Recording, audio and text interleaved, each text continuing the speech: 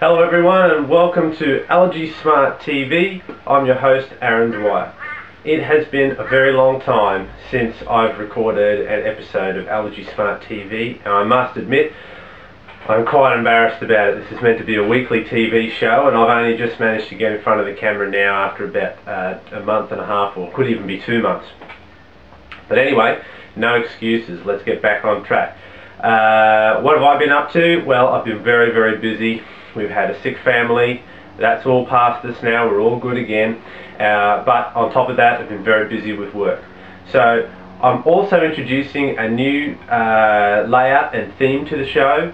What we'll have now is we'll have just a brief introduction of what I've been up to, what's been going on, and then we'll head into a featured segment of the show followed by perhaps a question and answer session and then if we've got time and I always want to be able to do this is a quick tip I'll give you a, I'll give you an allergy quick tip, a food allergy quick tip because that's what we know, and that'll be towards the end of the show. What we'll be talking about today is I saw. I don't know if you can see this. I hope you can. Uh, headline: Diners dicing with death. Beautiful photo there of a, a boy looking. Uh, very solemn with his uh, medical alert bracelet on and, uh, and an EpiPen sitting in front of him. This was actually uh, quite a good article, um, aside from the fact that there's a whole bunch of uh, peanuts and legumes down here that uh, sort of um, biases people towards uh, you know peanut anaphylaxis rather than any other. But um, this is basically a really good article write-up on uh, what do you do or what do people like us do when we go out and have to deal with food allergies in the dining environment of restaurants and takeaway. Uh, fantastic. Honestly, as far as we're concerned, um, we don't take the risk. We are, uh, in our household anyway, anaphylactic to dairy, eggs and nuts. And so for us, the, the risk with dairy uh, is just too great. So we don't actually go to restaurants.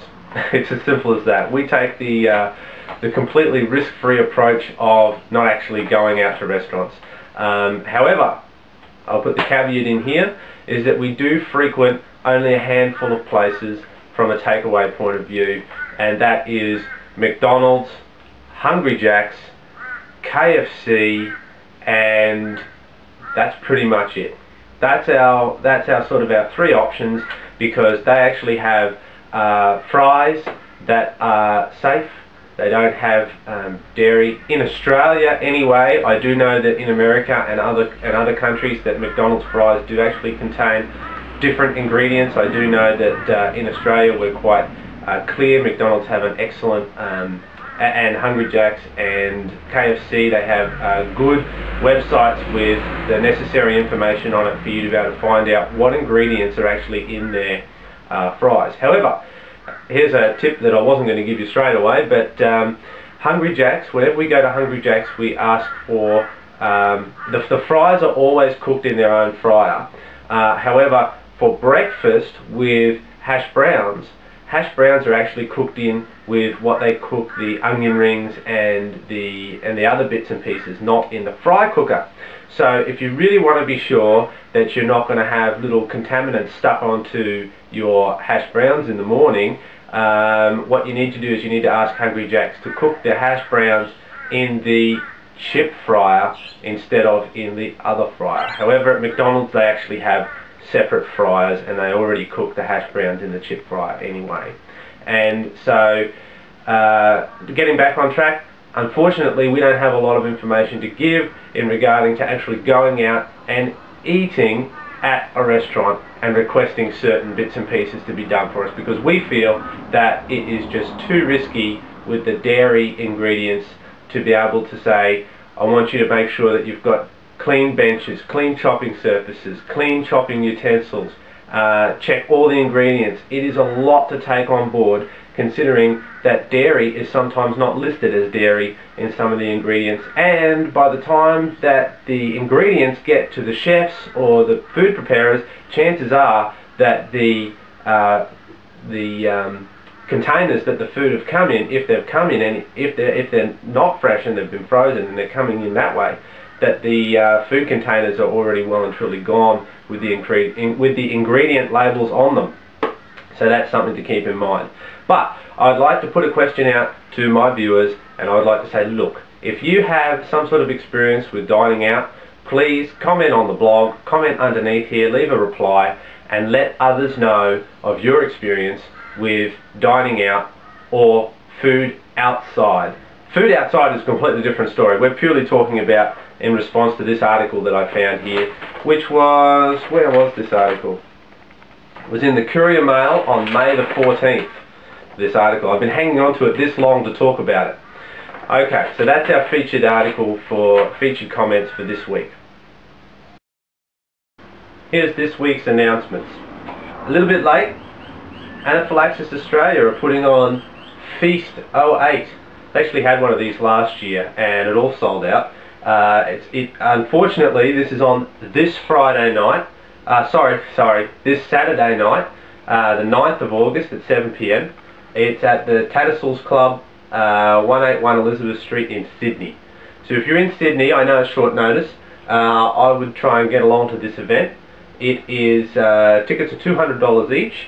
Um, I believe Amanda Keller is going to be there uh, Alex Herbert, soprano, Jane Sheldon, members of the Australian Brandenburg Orchestra uh, to support children with severe food allergies. So obviously you'll get wine, you'll get dined, you'll have entertainment and uh, probably be a great night for all. I won't be attending, it's down in Sydney. I've already been around uh, the country. I'm actually going down to Canberra next week uh, for business so uh, my leash is relatively short with regards to um, attending different events around the country. So uh, anyway, Feast 08, if you're available and you don't know about it already, contact uh, point is, uh, I would just go straight to uh, Anaphylaxis Australia, which is Allergy Facts, allergyfacts.org.au. I'll, I'll link that up in our show notes for today.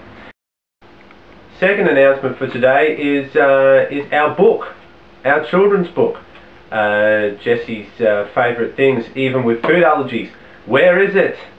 Well, we actually have it. They're in boxes here. And unfortunately, I've yet to put a buy link now, uh, buy it now link on the uh, on the website, and also send them off to the different support groups around the world.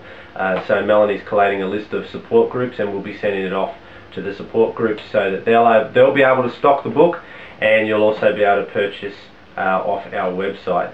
Soon, not yet. We have had requests for it and the companion boys book that uh, is currently being printed, but uh, as yet uh, they're not available. Um, but anyway, we're getting that little bit closer. That's it for the announcements this week. Now for today's quick tip, I want to show you this.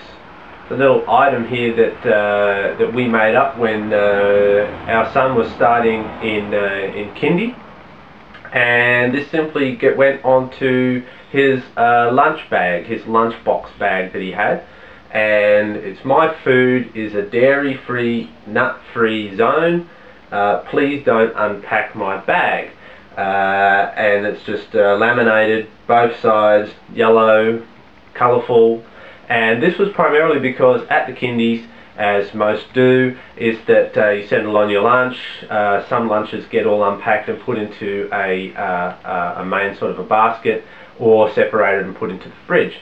Uh, of course, we don't want uh, our lunch to be mixed up with anyone else's lunches, so we had to take a precaution and put this on because at uh, most kindies is that there's usually volunteers that come and help. It's just other parents that come and help and they might not necessarily know what's going on. So we don't want uh, anybody to start messing around with uh, with our lunch, with our lunches and our morning teas. So uh, you know, this is all about just trying to be cautious and reducing risk. That's a quick tip for today. Right, hope you got something out of this week's episode. I'm just trying to keep it really short, simple and sweet and be able to get these episodes out to you once a week again. Alright, until next time, bye for now. Have a great week. Cheers.